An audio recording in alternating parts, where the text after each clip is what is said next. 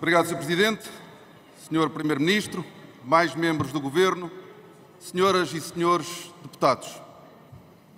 Segurança, estabilidade e esperança. Todos nós procuramos segurança e estabilidade nas nossas vidas e todos nós queremos sentir a esperança de concretizar os nossos sonhos.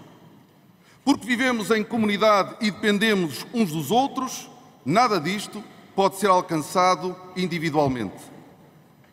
Apenas em comunidade e em cooperação conseguiremos viver em segurança e em estabilidade e ter esperança. Portugal é a comunidade nacional a que pertencemos e nela partilhamos direitos e deveres. E o Estado é o instrumento coletivo através do qual procuramos cumprir os nossos objetivos individuais, familiares e nacionais. Vivemos num mundo instável, com uma guerra às portas da Europa e outra dentro da Europa. Um mundo ameaçado pelas alterações climáticas e por catástrofes ambientais cada vez mais graves e frequentes. Um mundo marcado pela deslocalização da produção, pela transformação do emprego e pela ameaça aos sistemas de proteção social. Às adversidades deste mundo soma-se a instabilidade e a insegurança em que vivem muitos portugueses. Para o atual governo, como para toda a direita, o conceito de segurança limita-se à segurança da integridade física e da propriedade. A única solução que conhecem é a resposta securitária e repressiva. Uma resposta que acaba sempre por falhar porque não entendem que as sociedades mais seguras são as mais coesas e estáveis.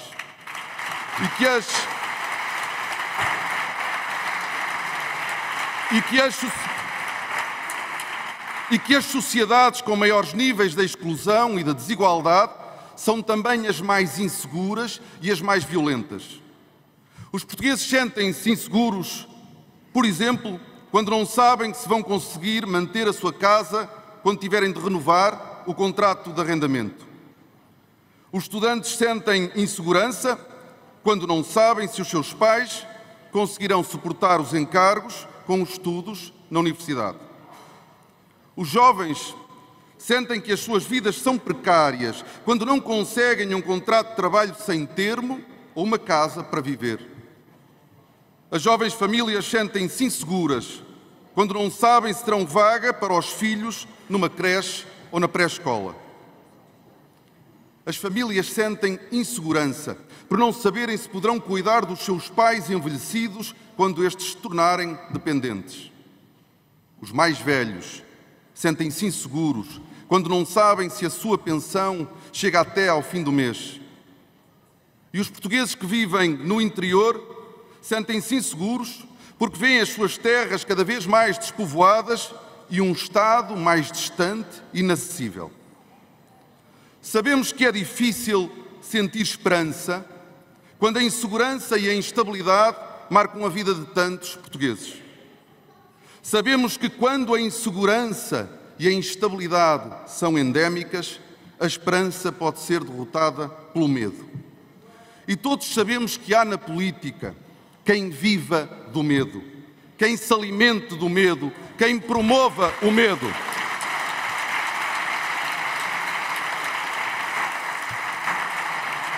Aos que exploram, aos que exploram a insegurança e a instabilidade para semear o medo, dizemos que não temos medo, que os enfrentaremos e os derrotaremos.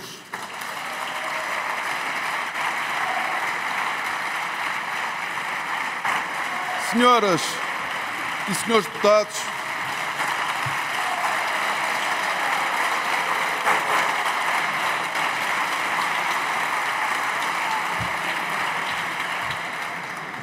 Senhoras e senhores deputados, o Partido Socialista governou Portugal nos últimos anos.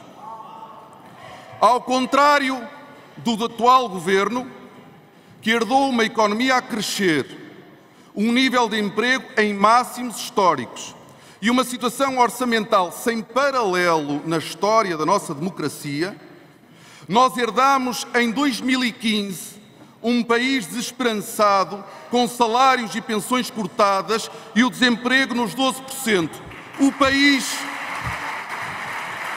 O país de 2024 não tem comparação com o país de 2015. Naturalmente, não resolvemos todas as dificuldades e novos problemas juntaram-se aos antigos. Mas conseguirá o governo da AD resolvê-los? Não. Eu sei que este governo tem apenas sete meses, mas já é tempo suficiente para percebermos que não tem nem a competência, nem as soluções para os problemas do país. Os atuais governantes foram rápidos a apresentar PowerPoints. Mas quando chegou o confronto com a realidade e posta à prova a sua competência, falhou. Falhou quando prometeu um verão com menos serviços de urgência de obstetrícia encerrados e tivemos mais 40% de encerramentos do que no ano anterior. Falhou, falhou quando prometeu menos alunos sem professor e temos neste momento mais alunos sem professor do que no ano anterior para o mesmo período. Falhou quando prometeu vagas para todas as crianças no pré-escolar, mas acabou a assumir que afinal este ano não seria possível. Portugal tem ainda uma economia pouco diversificada e pouco sofisticada, na qual muito do emprego e do rendimento dependem do turismo e do imobiliário que, como sabemos, são setores muito sensíveis às flutuações externas, sem capacidade de absorver os jovens qualificados que formamos. Pior, sabemos que este crescimento não é sustentável quando as nossas cidades não conseguem lidar com a pressão turística sobre o espaço urbano e os serviços públicos, e quando o preço da habitação para comprar ou arrendar casa se tornou incomportável para os portugueses. Passados sete meses, ainda não conseguimos perceber qual é a visão estratégica deste governo para a economia. A única coisa que sabemos é que querem reduzir o IRC e que apostam tudo nessa redução para fazer o nosso crescimento disparar. Portugal precisa de um Estado estratega que, sem se substituir à iniciativa privada, seja um parceiro do progresso empresarial, científico e tecnológico que seja capaz de definir prioridades de investimento estratégico, aproveitando as competências já existentes em setores como os da energia, da mobilidade, da saúde, da metalomecânica e dos equipamentos industriais ou da agricultura sustentável. Só com uma economia mais forte, mais sofisticada e mais diversificada, seremos capazes de atrair e reter jovens qualificados e de lhes pagar salários mais elevados. Para tal, precisamos de garantir segurança no investimento e na internacionalização às empresas e segurança no emprego aos trabalhadores. Senhoras e senhores deputados, o Orçamento do Estado é a tradução financeira anual da política de um governo.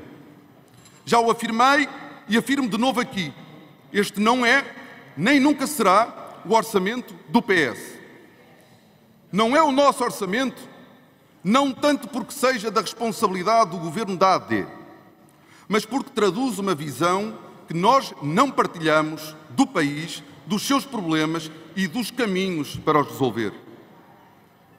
Nunca nos quisemos substituir ao governo na elaboração do orçamento mas apresentamos três propostas que exemplificam a resposta que consideramos que o país precisa para garantir mais segurança e estabilidade à vida dos portugueses. Primeiro, aumentar de forma massiva o parque público de habitação. As medidas que o Governo tomou nesta área são erradas e nada fazem para aumentar a oferta para a classe média. As medidas dirigidas ao alojamento local terão mesmo o efeito contrário.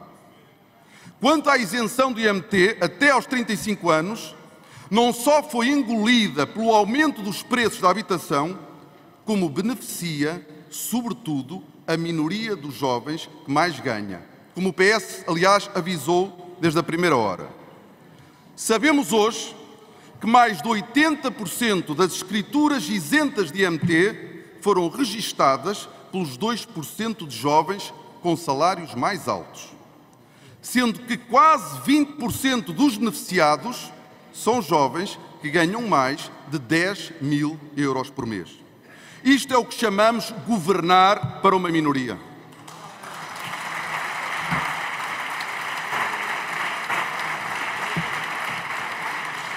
E é porque, e é porque estas medidas nada resolvem que propusemos uma dotação orçamental de 500 milhões de euros por ano durante 10 anos, até por fazer um investimento público de pelo menos 5 mil milhões de euros em habitação para os jovens da classe média. Segundo, propusemos aumentar as pensões acima da atualização prevista na lei. Nos últimos oito anos, os governos do PS fizeram seis aumentos extraordinários que melhoraram os rendimentos de forma permanente da população que vive com pensões baixas. Este esforço tem de continuar no próximo ano. Os reformados, os reformados não podem ficar à espera da próxima festa do Pontal, em véspera de eleições autárquicas, para saberem se vão receber um suplemento em outubro. Aumentar, aumentar pensões não é alimentar clientelas, é respeitar os mais velhos, os nossos pais e os nossos avós.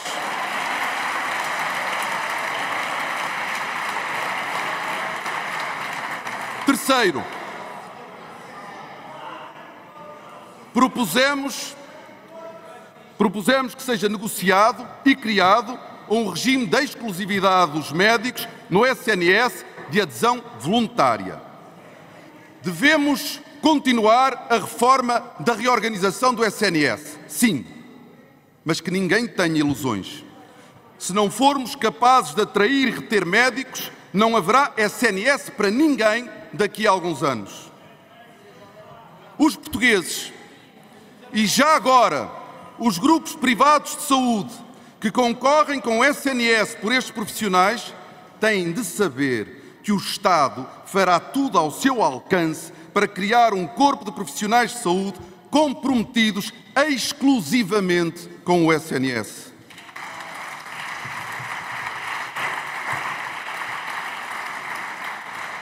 Os orçamentos do Estado são documentos de vigência anual que não nos podem deixar perder de vista as respostas aos desafios estruturais com que Portugal se vai confrontar de forma cada vez mais intensa. Quero destacar sete desafios determinantes para o futuro do país a que o PS se dedicará nos próximos meses. Três desses desafios decorrem das alterações climáticas as quais põem em causa a viabilidade do nosso território. A desertificação e a falta de água no sul do país. Os incêndios, sobretudo no interior. E a erosão da nossa costa no litoral. A estes acrescem quatro desafios sociais e económicos que precisamos de vencer transformar a estrutura da nossa economia, combater o despovoamento e o subaproveitamento da maior parte do nosso território nacional, preparar o país e os serviços públicos para uma população crescentemente envelhecida, regular com eficácia e humanismo a imigração e cuidar da integração das várias comunidades de imigrantes. O PS, o PS é o partido português com mais experiência de governo e o que melhor conhece o Estado, as suas forças e as suas limitações. Será capaz de, olhando para o passado, valorizar o que correu bem e aprender com o que correu mal. Responsável no presente estará sempre focado no futuro do país. Acreditamos em Portugal e nos portugueses. Queremos dar-lhes a todos, e não apenas a alguns, um futuro com segurança, estabilidade e esperança. Muito obrigado, Sr. Deputado.